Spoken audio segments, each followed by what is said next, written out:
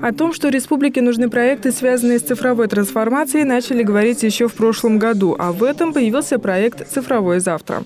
Его задача простыми словами рассказать жителям Мордовии о том, что такое цифровая экономика и зачем она нужна, передать информацию о грядущей цифровой трансформации и о значимости информационных технологий, значительно облегчающих нашу жизнь.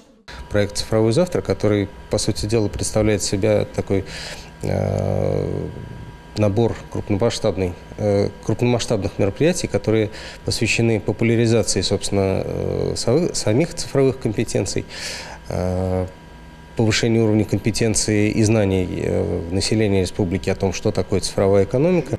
Во время семинара представители отечественных IT-компаний рассказали о своих успехах в разработках программного обеспечения, а также обсудили технологии, которые будут использоваться в недалеком будущем.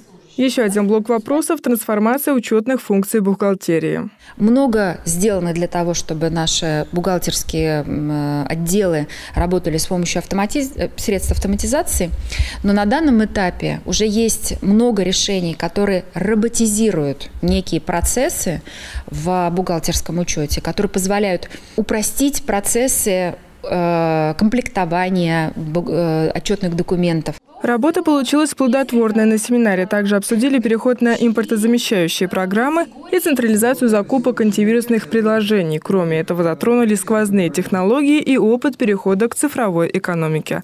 Ольга Данилова, Сергей Соколов. Народные новости.